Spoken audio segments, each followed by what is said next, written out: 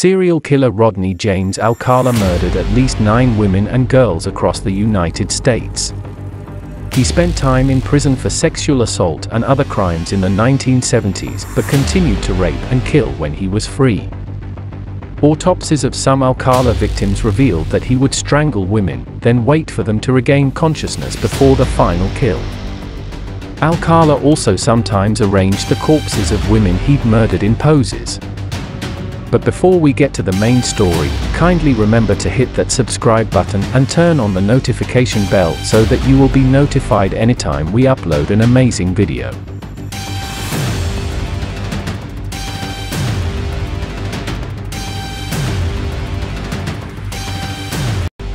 Alcala was born as Rodrigo Jacques Alcala Buquor in San Antonio, Texas, on August 23, 1943. He moved to Mexico with his family when he was around 8 years old and his father abandoned the family while they were in Mexico. Alcala, his siblings, and his mother later relocated to Los Angeles. He attended California State University, then transferred to UCLA. He graduated with a fine arts degree in 1968. After fleeing California that year, Alcala used his John Berger alias to enroll in New York University, where he took a class with Roman Polanski. After fleeing the scene of his 1968 attack on eight-year-old Tali Shapiro, Alcala traveled to the East Coast. In 1971 he was included on the FBI's Most Wanted list. Some girls at an arts camp in New Hampshire recognized their counselor, who was using the name, John Berger, from this list.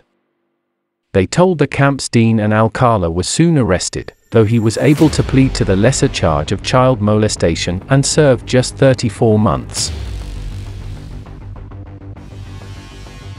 Though he was a registered sex offender, Alcala managed to land a job with the Los Angeles Times as a typesetter in September 1977. His past conviction for sexual assault prompted California police to interview Alcala in March 1978 as a potential suspect in the Hillside Strangler killings, another set of serial murders that occurred in California in the 1970s.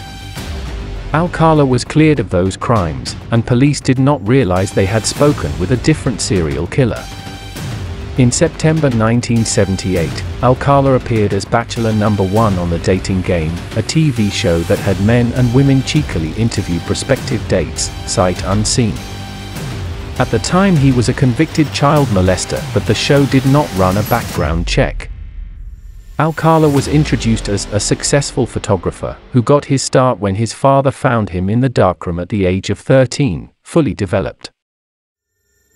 Good luck, gentlemen.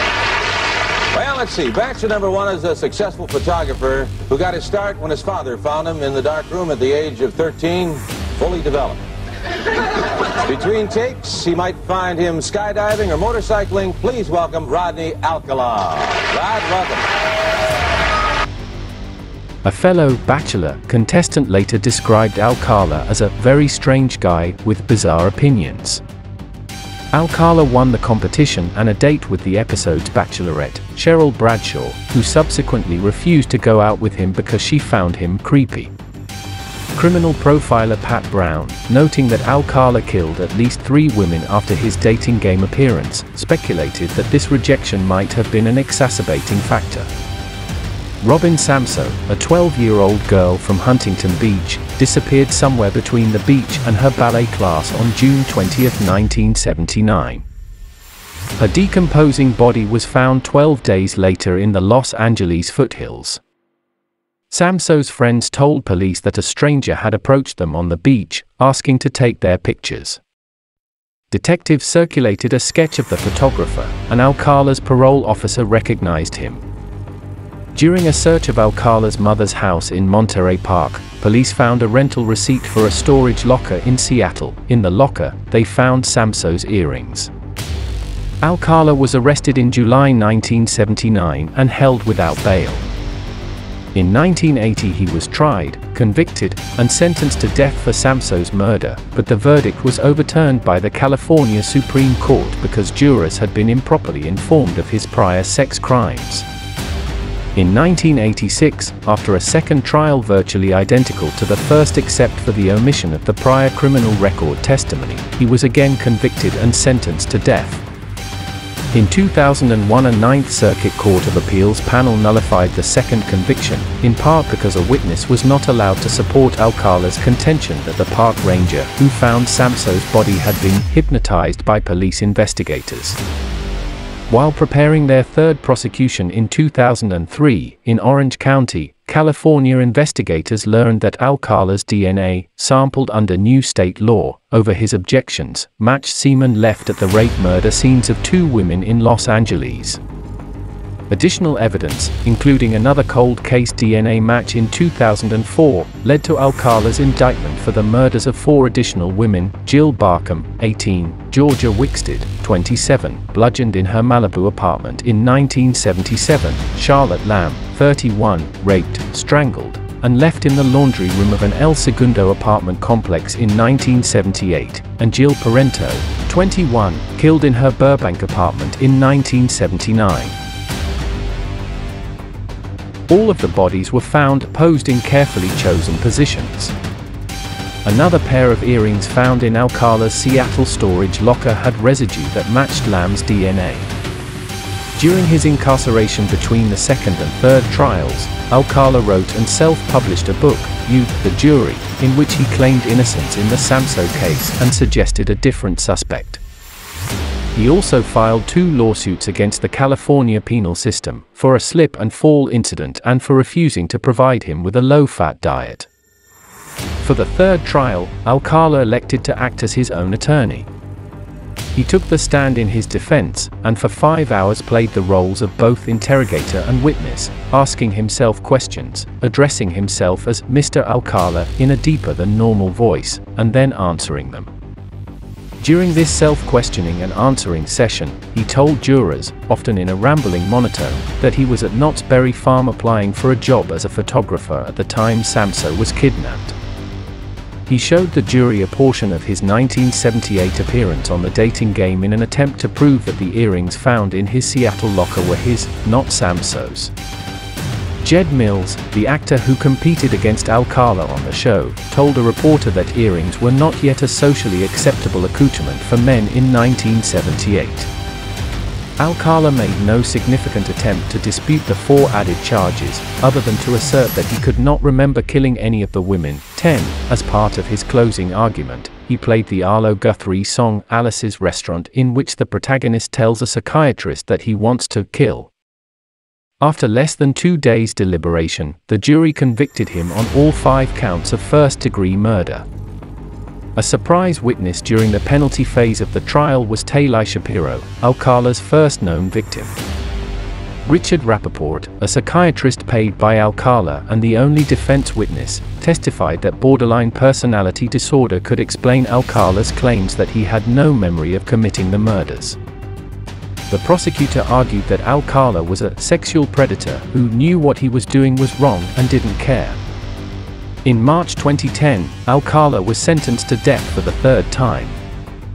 After his 2010 conviction, New York authorities announced that they would no longer pursue Alcala because of his status as a convict awaiting execution.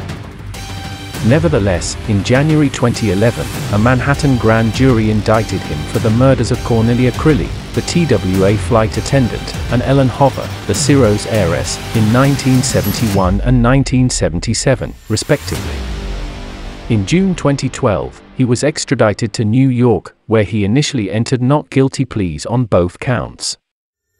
In December 2012, he changed both pleas to guilty, citing a desire to return to California to pursue appeals of his death penalty conviction. On January 7, 2013, a Manhattan judge sentenced Alcala to an additional 25 years to life. The death penalty has not been an option in New York State since 2007. In 2010, Seattle police named Alcala as a person of interest in the unsolved murders of Antoinette Whittaker, 13, in July 1977, and Joyce Gaunt, 17, in February 1978. Alcala rented the Seattle area storage locker in which investigators later found jewelry belonging to two of his California victims in 1979. Other cold cases were reportedly targeted for reinvestigation in California, New York, New Hampshire, and Arizona. In March 2011, investigators in Marin County, California, north of San Francisco, announced that they were confident that Alcala was responsible for the 1977 murder of 19-year-old Pamela Jean Lamson, who disappeared after making a trip to Fisherman's Wharf to meet a man who had offered to photograph her. Her battered, naked body was subsequently found in Marin County near a hiking trail, with no fingerprints or usable DNA, charges were never filed, but police claimed that there was sufficient evidence to convince them that Alcala committed the crime. In September 2016, Alcala was charged with the murder of 28-year-old Christine Ruth Thornton, who disappeared in 1977. In 2013, a relative recognized her as the subject of one of Alcala's photos made public by Huntington Beach PD and NYPD. Her body was found in Sweetwater County, Wyoming, in 1982, but was not identified until 2015 when DNA supplied by Thornton's relatives matched tissue samples from her remains. Alcala admitted to taking the photo, but not to killing the woman, who was approximately six months pregnant at the time of her death.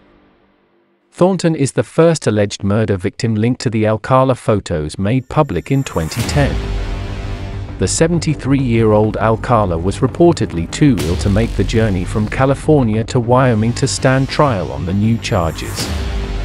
Alcala died of unspecified natural causes in Corcoran, California on July 24, 2021, at the age of 77. That brings us to the end of this episode. Thanks for watching.